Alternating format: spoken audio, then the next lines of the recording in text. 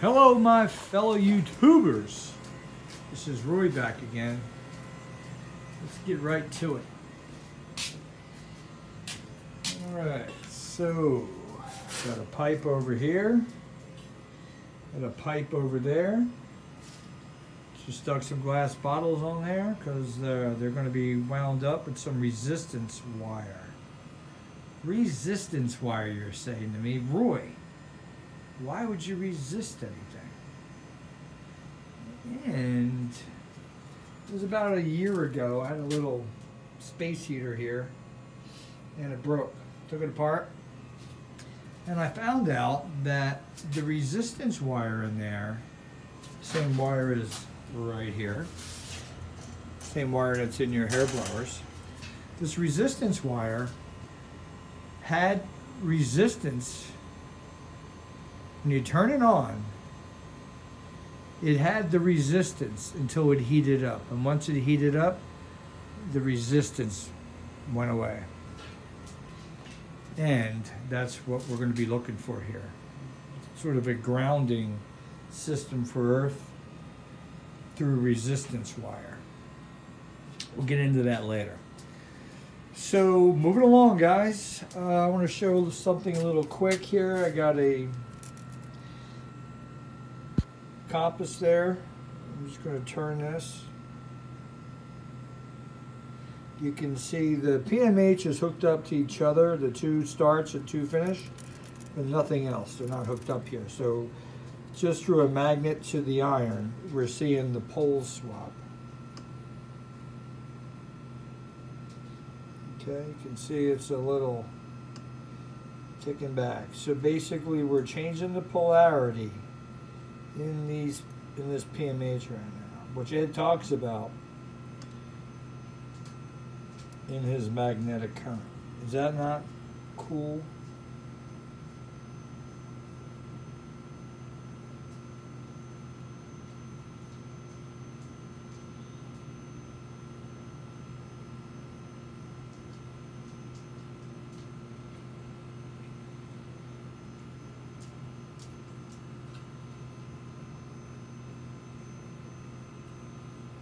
It's going to be even cooler is on on the pipe. Pipe's just sitting on the ground right now, okay? Um, I'm going to cut out a square under both of these and we're going to put a dielectric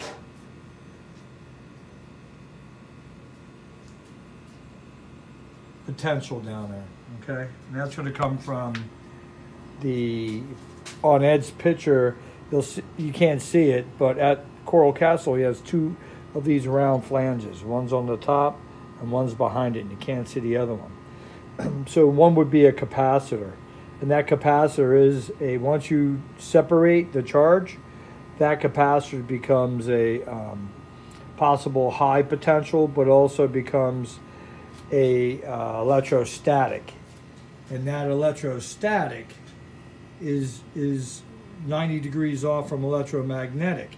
So there goes how you create the electrostatic.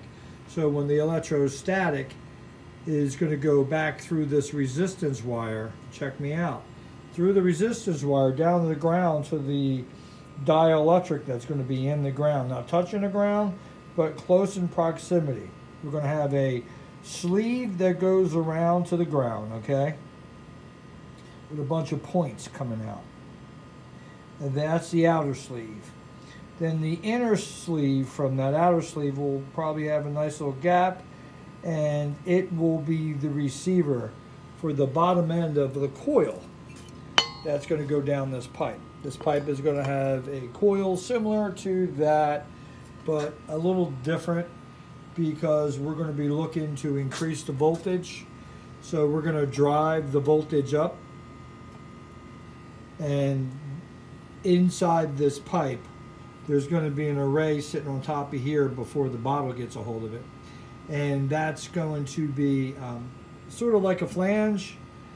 And then there's going to be a center um, core in this in the middle of this in the middle of that coil which will slide down in here. So, and that core will come up a ways into the bottle and will actually probably come up to about here. And if you look on Ed's bottles, half of them are broken out. And we'll break one out. and We'll put a contact here, a sensitive contact. So on the top of that rod is going to be a, a magnetic contact that's going to contact and make contact there. And when that does, it'll open up the um, capacitor to discharge through the wire down um, into the core there.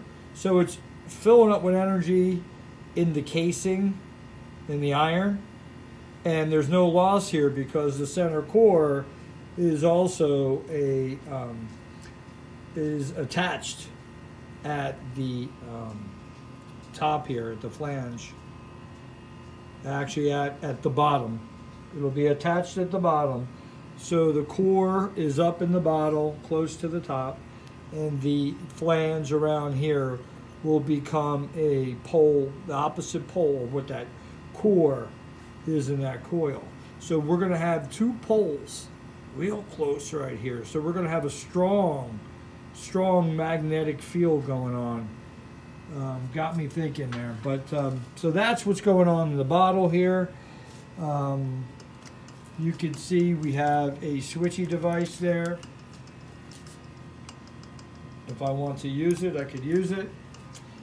You can also see when you start moving fast, the poles can't even keep up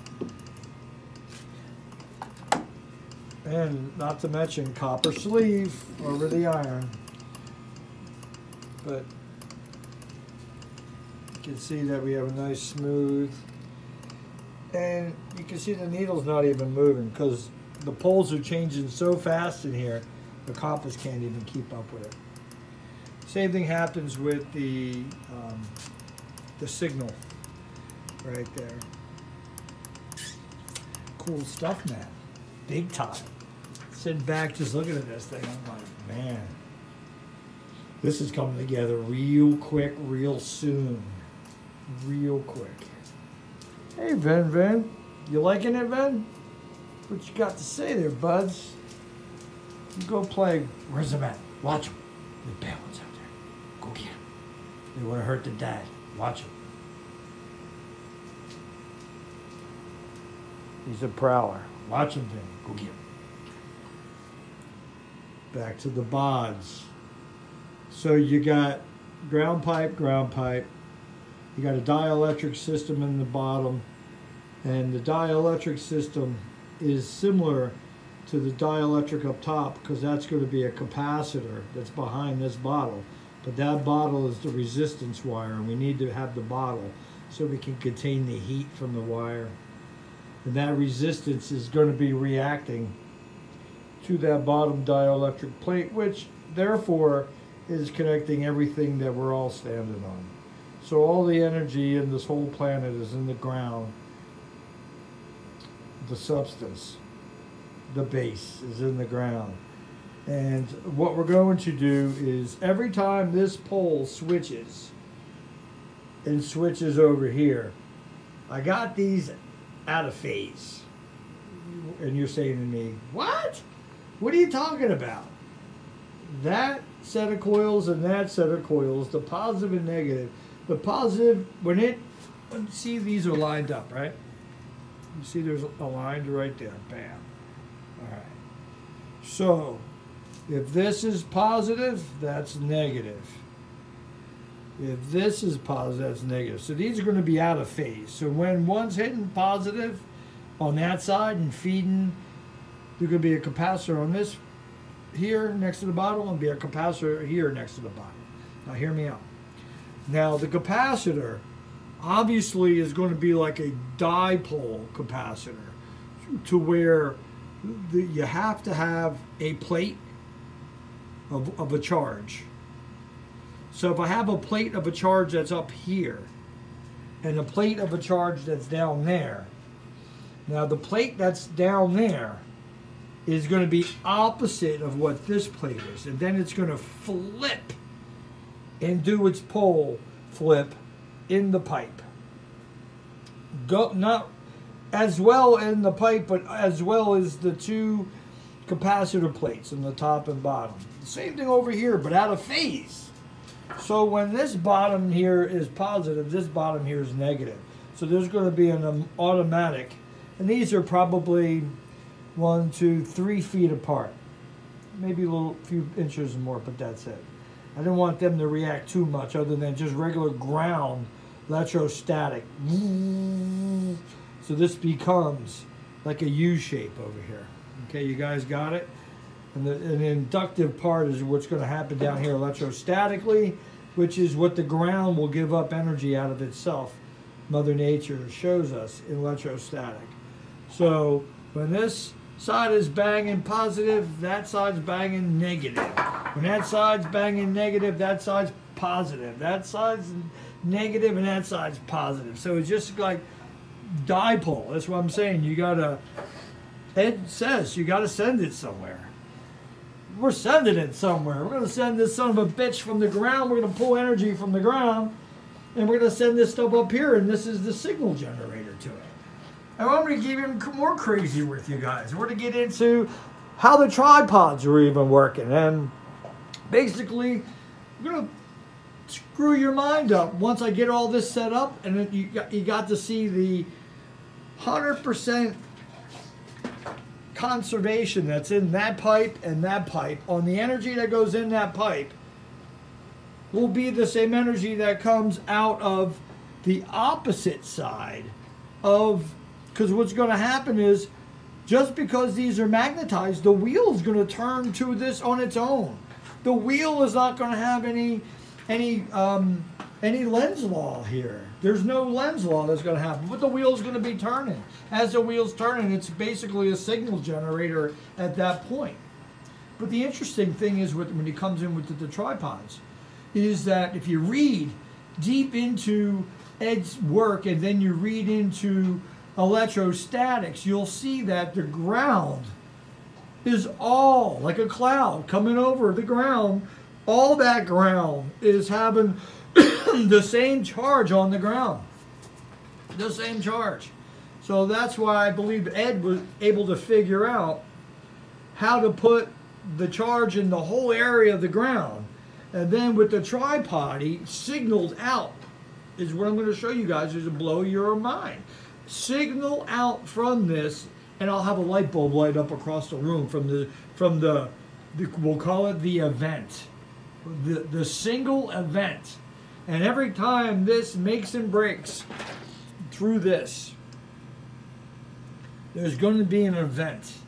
And the event is going to be between the ground plate, the upper plate, the upper plate and the ground plate, as well as the antenna. A dipole antenna, which is the ground is going to be one pole and the top of the tripod is the other pole. And that's where I got a lot of it here. We're going to experiment. We're going to take just regular rock, well, actually Ed's coral rock here from from his area. The same damn coral. That's from my area. That's coquina. A lot heavier. That's a lot lighter durable though, but it does have a lot of pockets in it. And that's where the the bi the the biologist part of me would love to be able to show how you can electromagnetize um, I'll call it organic material because that's what that is and when I go into my electrostatics and I start going into my material box here it's filled with organic materials, except for, I guess you can even call the, the piece of plastics organic because you know what? They're a dielectric, but they're also from oil. Oil? How organic is oil? Pretty damn organic. It's not, it's, it's not metallic. There's your, there's your, your densest material, I guess. Not dense far as, as its density, but the permeability on that iron is just unreal. It's just unreal. And we can use it. That's why Ed shows a lot about that iron. Um, that's my old grounding pipe. Uh, it's too big It's a shame. I paid a lot of money for it, but maybe we'll utilize it some other way. But uh, leave your comments. Long live Ed Leedskalnin. Peace out.